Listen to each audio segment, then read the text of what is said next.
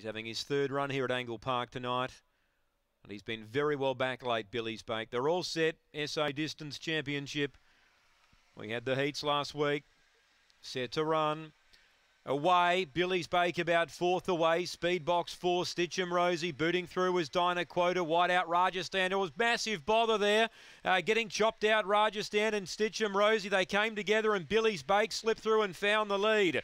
As they go past the judge, Dinah Quota a length away. Canley Jet came to the outside but got checked. Then Nations the rail. A length away midfield Coco Spectre. Uh, then Morum Bateman drifting back Rajasthan and also Stitchem Rosie. Billy's Bake a length and a half clear. Uh, trying hard, Dinah Quota. Nations trying to wind up. They've just about got to Billy's Bake.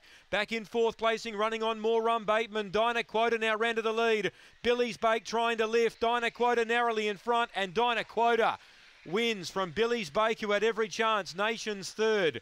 Fourth was Rajasthan. Gee, it was some sort of a run. Uh, then Canley Jet, Coco Spectre, Stitchem Rosie. She almost fell on the first corner and she was amongst the tail enders. But this one's going to Dinah Quota for Nicole Stanley.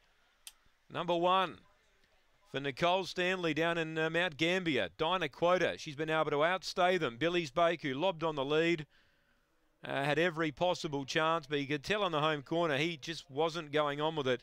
And Dinah Quota wanted a, a little bit more. Has got past him close to the line. Number eight, Nations, plugs home into third. And the run of the race, no doubt about it, Rajasthan. She was nearly the leader early. She copped a bad check. She was spat out the back and she's run on late to get fourth. And that was a terrific run. Three fifth Canley Jet. 43